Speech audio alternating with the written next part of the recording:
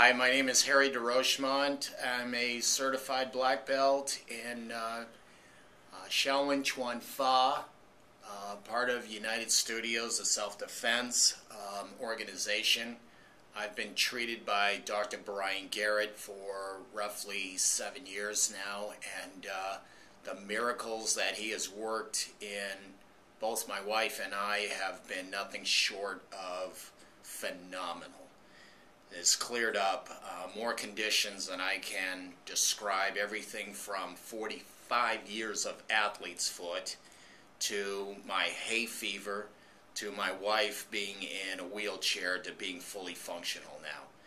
Um, and it's been nothing but uh, a miracle. Can't possibly recommend him enough. I brag to all my friends about this man that I simply adore.